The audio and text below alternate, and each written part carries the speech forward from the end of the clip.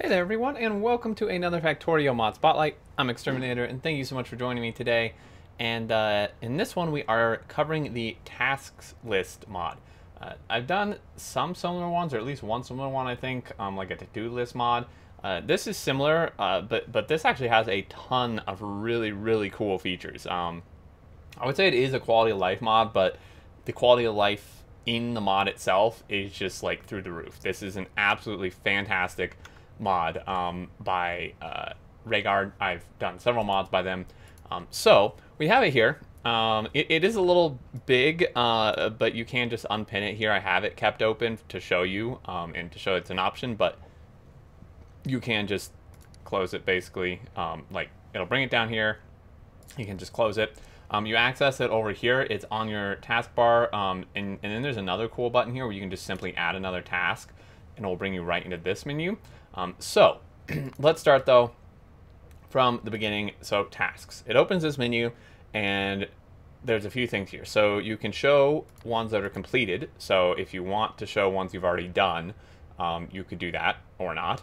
Um, and one one of my favorite things about this is you can have two separate lists. One for that, that's shared among everyone in the same force. So like if you're this is great if you're doing multiplayer um, where it's like you create a like a general task list for just everybody who you're playing with um, to work on, and then you can have private ones um, that are only visible to you. So if you just want to set one for yourself, um, you can do this, and you see it takes that one off because this one was set to just to, to not be a private one, basically. Um, you can check it off here once it's done. This little thing here means in progress. You can set that. Um, you can toggle details or shift to move it up or control to move it down. Um, you can edit the task, um, but let's go ahead and add a new one. So you click this button, and then um, you can uh, add a title. So let's just say uh, build iron smelter. And we're to say, for description, you can put whatever you want, but we're to say uh, like standard 24 uh, long per side.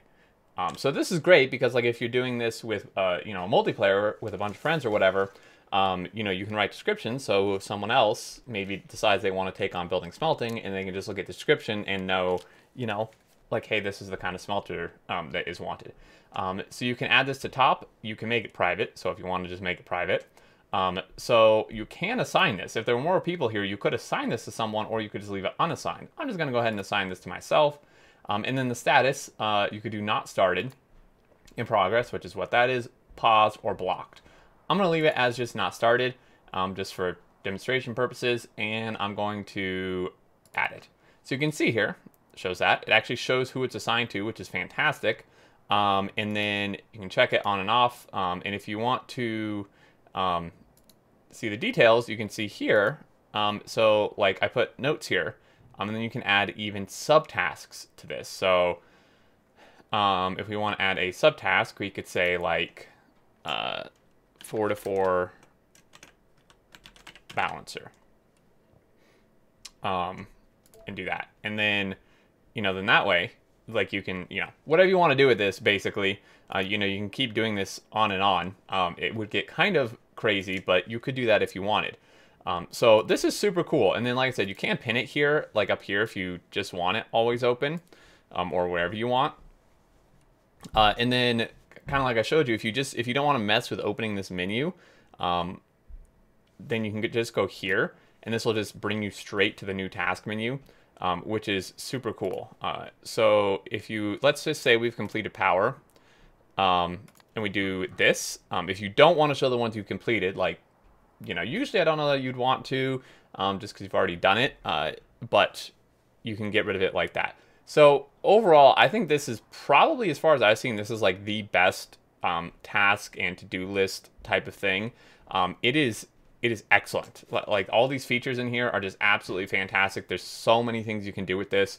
Uh, I see this really, really shining in multiplayer games uh, because I think that's primarily where you would want tasks, um, possibly, and then just the fact you can do it force like everyone in private and assign who it's for and in progress or not, that these are just absolutely phenomenal features.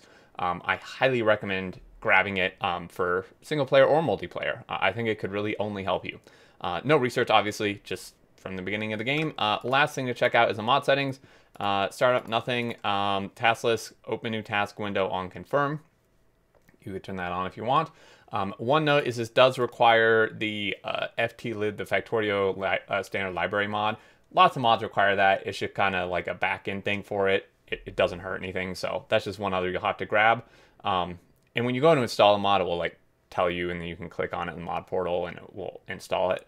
Um, but there you go. That's a mod. Super cool. Highly recommend it. Definitely check out the link in the description to the mod portal page where you can uh, look through it and download it. And uh, if you have any questions, feel free to leave them down below. If you enjoyed, a like is very much appreciated. And uh, if you're new to the channel, feel free to subscribe, keep up with all notifications. That's going to do it. Thank you so much, everyone. And until next time, uh, I look forward to seeing you all and do take care.